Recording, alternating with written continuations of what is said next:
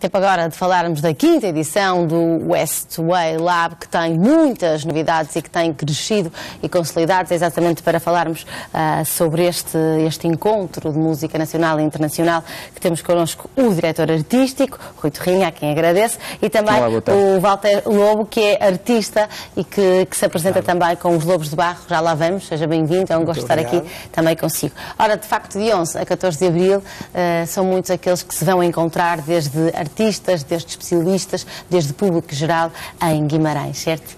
É verdade, esta quinta edição é a mais uh, alargada de sempre. Um, dizer que já desde a semana passada, em residência em Candoso, estão vários artistas internacionais a trabalhar com alguns portugueses. Já fui espreitar alguns trabalhos e são surpreendentes.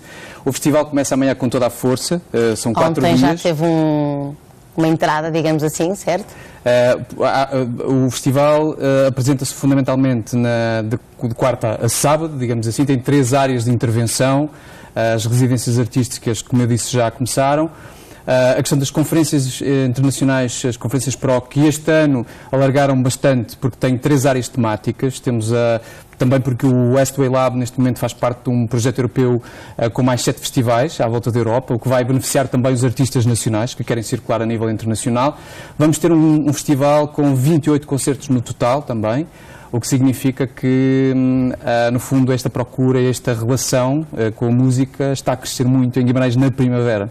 Muito bem, e o que acontece aqui é que temos, uh, de alguma maneira, duas, duas realidades muito distintas. Por um lado, o público geral, com os tais concertos, que a maioria deles são, de resto, de, de entrada gratuita, alguns não são, e tem que se comprar o bilhete, mas a maioria são, de facto, de entrada gratuita, e, portanto, temos, por um lado, um programa para o público geral, para os apreciadores de música de uma forma menos erudita, e, por outro lado, temos aqui de alguma forma, um laboratório, utilizando também aqui a terminologia do próprio festival, de pensar e refletir sobre a música nacional e internacional com grandes especialistas e grandes pensadores nesta área também. Sem dúvida. É um, é um festival que trabalha o setor da música independente, a nível nacional e internacional, também porque este setor tem crescido muito em Portugal. Uh, e é um conjunto de ferramentas que o Festival, no fundo, disponibiliza para quem se interessa por este setor, que é um setor que está em crescimento e que está em expansão também uh, a nível internacional, e que o Festival, no fundo, agrega aqui todas as vertentes uh, de, deste universo. E em Guimarães existe a possibilidade de, por um lado, mostrar trabalhos, mas por outro também discutir sobre o futuro, pensar sobre o futuro e perceber que caminhos é que nós queremos para os nossos artistas e também, sobretudo, uma coisa importante que nós fomentamos muito, que é o criar pontes a nível internacional, a nível de contactos e, sobretudo, a nível da promoção da cultura portuguesa além fronteiras. Já lá vamos saber quais são esses caminhos, ou pedir-lhe que nos dê umas luzes. Antes disso, gostava de falar ali um bocadinho com, com o Walter, para, para nos falar um pouco de si e deste, e deste projeto que leva uh, a Guimarães e, e, de alguma forma, a todo o país, esperamos nós. Sim. Uh, pronto, é, é, o projeto é o Lobos de Barro, que foi um desafio lançado pelo festival e pelo Centro, pelo Centro Cultural Vila Flor, em, em ser um projeto de criação.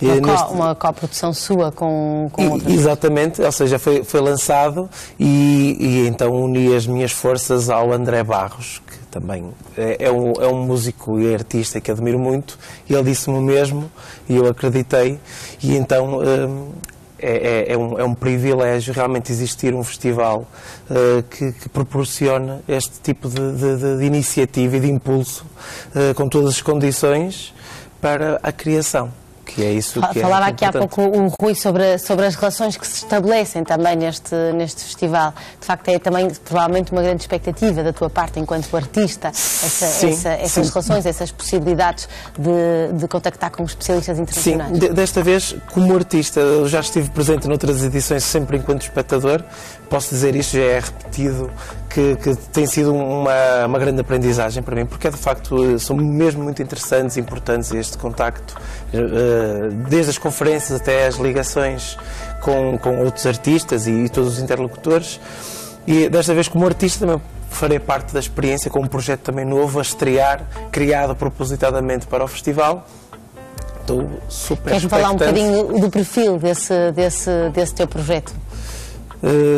Ou, ou queres, poderia queres, fazer, mas gostava, gostava de guardar para, para a próxima sexta-feira, mas posso dizer que é, que é, que é música clássica e é contemporânea e está repleto de Portugalidade, ou seja, também está aqui, embora seja o festival com uma índole bastante internacional, também tenho essa ideia para mim, e penso também da, da parte da, da, direção artística, em, em, fazer que a língua portuguesa também, também percorra o seu caminho e que seja ouvida, e não sejam só os artistas nacionais, mas os artistas nacionais que cantem em português. Essa, essa, essa será uma prova do teu trabalho.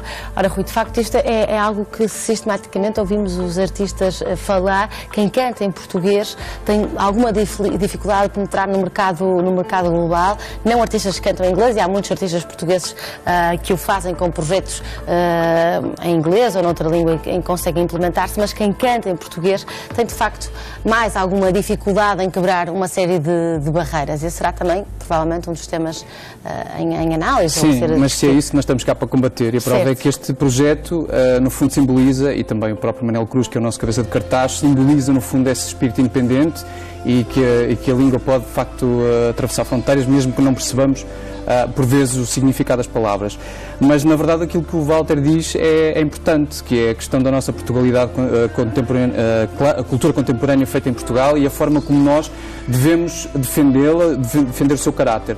E a prova disso é que, no mesmo lugar, o ano passado, onde está o Walter este ano, o projeto de criação, que era o Quest com a Orquestra de, de Guimarães, acaba de ser lançado um álbum na Room 40 do Lawrence English, ou seja, alguém que é altamente insuspeito do ponto de vista do seu perfil a nível internacional, pegou no projeto de criação do, do Westway e, e decidiu assinar o, o disco. Portanto, uh, nós estamos aqui no fundo para uh, tratar do talento do, dos músicos, dar esse espaço e depois o resto acontecerá com normalidade, eu acho. E esta questão das pontes é fundamentalmente aproximar também o olhar um, dos agentes internacionais sobre o que aqui fazemos, aproximá-los e deixar o resto corre de forma natural porque há essa qualidade do produto, digamos assim. Ora, há uma questão que eu também gostava aqui de colocar antes de, de, chegarmos ao fim da nossa conversa que tem a ver com, com as editoras e com esta transformação brutal uh, que o mundo vive, não só em relação à música, basta vermos aqui em relação à televisão.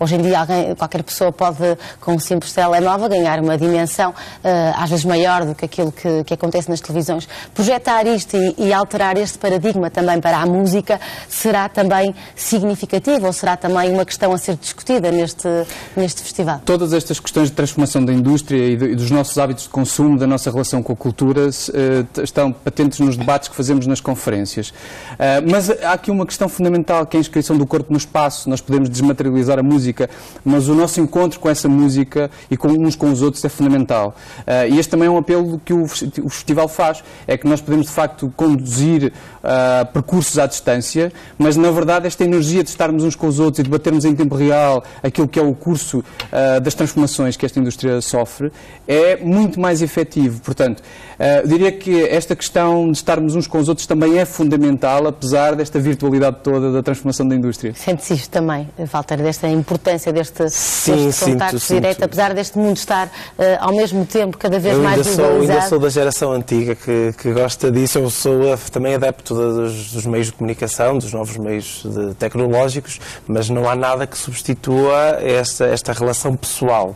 E a prova é que os concertos têm crescido também, quer em dimensão de pessoas, porque Sim. há essa necessidade de o contacto ao Sim, mas a própria relação entre, entre esses interlocutores, entre os profissionais da indústria, entre os artistas, que não se faz só através das redes sociais ou do, ou do, ou do endereço ou do, do, do e-mail. A, a, a, circunstância e este festival torna isso bastante familiar e aproximado e faz com que, que se proporcione de outra maneira estes contactos. Acho que é totalmente válido. Muito bem, 11 a 14 de abril, todos aqueles que são amantes da música de uma forma eh, mais ou menos especializada têm encontro marcado então no Centro Cultural Vila Flor e noutros espaços, certo, Sim, Rui? vamos ter os sítios showcases durante a, a, a tarde de sábado, que são de entrada gratuita em vários espaços da cidade, portanto há muito para ver. É, um, é também um festival de roteiro, para que fique aqui o convite para uh, descobrirem em Guimarães muitas coisas boas para, para se ver. Com certeza que sim. Foi um gosto estar com os dois. Muito obrigada e votos de muito sucesso para esta quinta edição. Obrigada.